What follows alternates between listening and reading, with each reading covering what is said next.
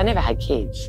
So all the love that you can give your own child, I give to them.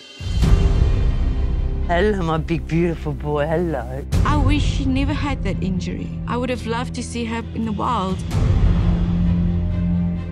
There's absolutely no doubt in my mind that he knows who I am, but I don't think he knows I have cancer.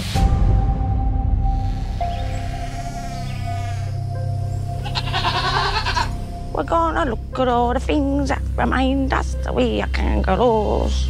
Frankie's probably been about 60,000 miles around the country. He's been at the Grand Canyon. He's been to Hollywood.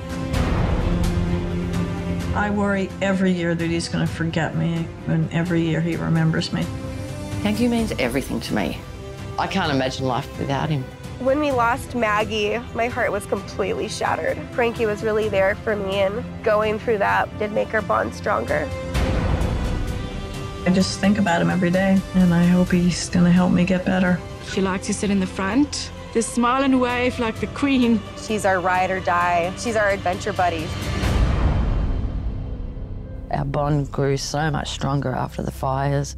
He was my boy. Nothing else mattered after that. You wanna be free. He's my friend, clearly my best friend. Because Maggie passed away, every time we would see somewhere that was really special, we would spread her ashes. He loves me. You love me, don't you? Good night, Franks. Good night, Frankie.